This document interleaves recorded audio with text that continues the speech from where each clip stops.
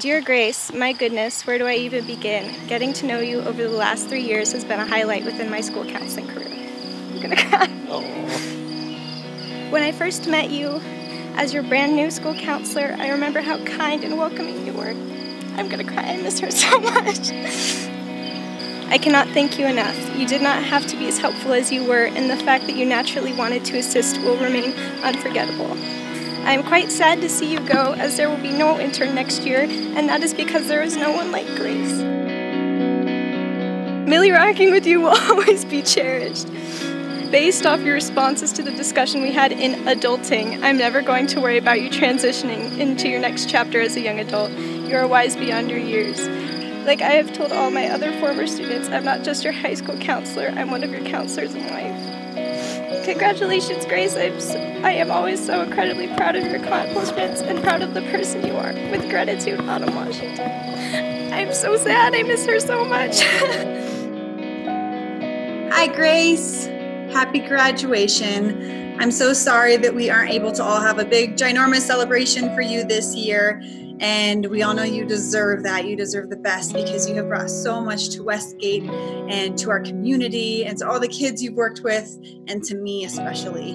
Uh, when I went into education, you know, there's um, there's always these dreams of sort of connecting with students and, and creating these visions and the peer mentor program and working with you has been kind of one of those dreams. And you know going into education it's for moments like these and uh, you've left such an imprint on me. You've had such an impact on me as, as a professional and as a person. And i'm so grateful for who you are. I'm grateful for the passion that you bring to life the passion that you've breathed into the peer mentor program and all the kids you've worked with.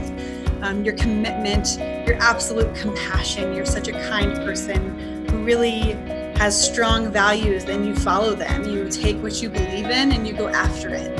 And your values are based really in like sharing goodness with the world and the people that you're around. And I can't say it enough. Thank you for uh, just for the impact you've had on me and the peer mentor program and Westgate and all of those around you. You have made such a difference. Grace, wrote me an autobiographical essay in your junior year that brought me to tears. So what you're thinking? You cry in class for every occasion, Mr. Stir. True, true. So, more accurately, your writing moved me to tears. It was beautiful, as are you. It's exactly that kind of sensitivity and insight and honesty that gives me hope every day.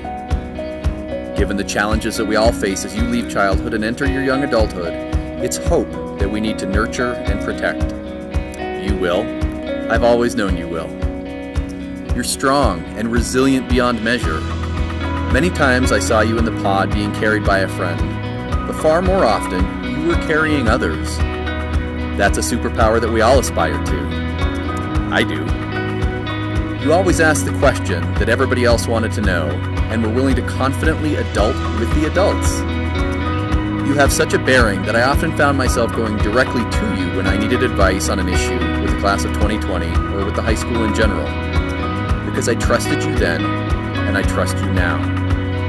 You are intellectually and morally grounded well beyond your years. You know what is right, and when then to act righteously. The world will need more Grace Wygant in the coming years. I'm sorry I, there won't be a formal graduation for you to bring me to tears one last time. But I'll always be content with the memory of having you in my classes. Anything more than that would be selfish. So thank you, Grace, and congratulations.